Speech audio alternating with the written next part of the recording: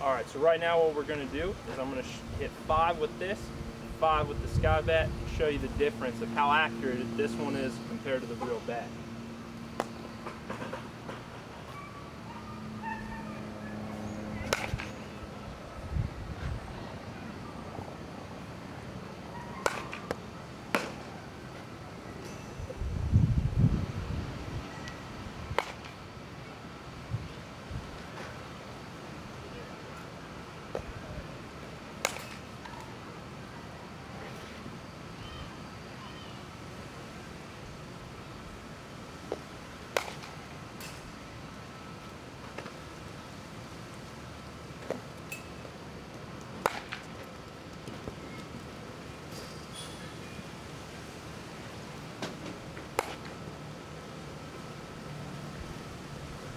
Now, as you can see, I hit about 10 balls there, and you was only able to actually field a couple of them.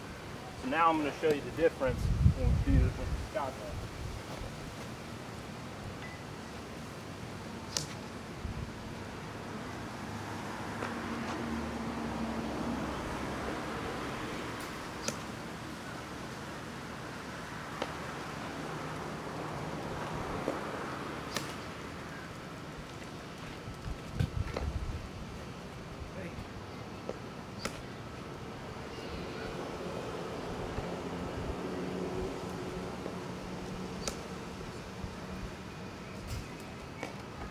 The results are obvious. The Sky Bat wins every time.